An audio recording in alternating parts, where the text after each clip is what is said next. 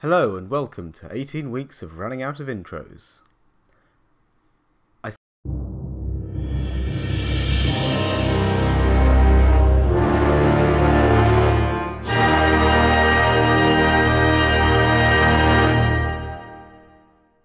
Starting off the news this week, a Japanese spacecraft has reached its destination, a rhombus-shaped asteroid. Its mission? To collect soil and rocks from its surface and deliver it back to Earth. Hayabusa 2 will launch explosives into Ryugu and will dig out a fresh sample of the asteroid from its surface and then hopefully bring this back to Earth. Staying in the vast expanse of space, scientists have discovered carbon-based molecules in the waters of Saturn's moon Enceladus.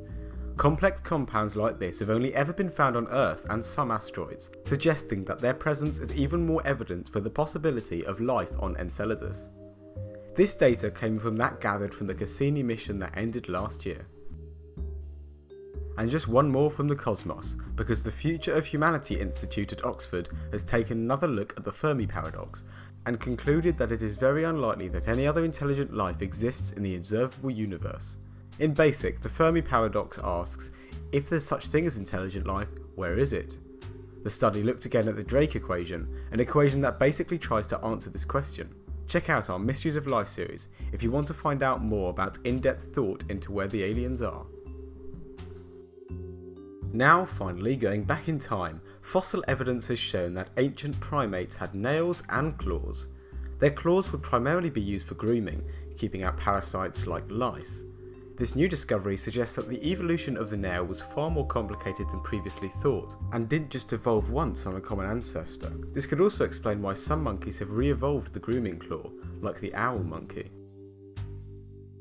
A new type of gibbon, previously undiscovered from science, has been found buried in an ancient Chinese tomb.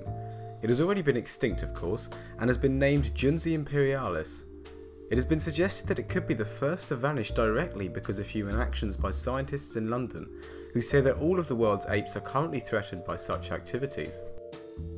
The brilliant gorilla Koko has died this week at the age of 46. It is said that she mastered American Sign Language, but this was controversial as experts say that her language skills were inaccurate.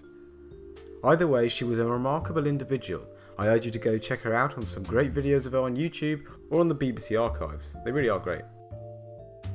And to finish off this week, paleontologists of the University of Alberta have discovered a new species of marine lizard. The animal, which lived around 70 to 75 million years ago, has its skin and muscle very well preserved. The dolichosaur has been named Primitivus manduriensis and is related to snakes and mosasaurs.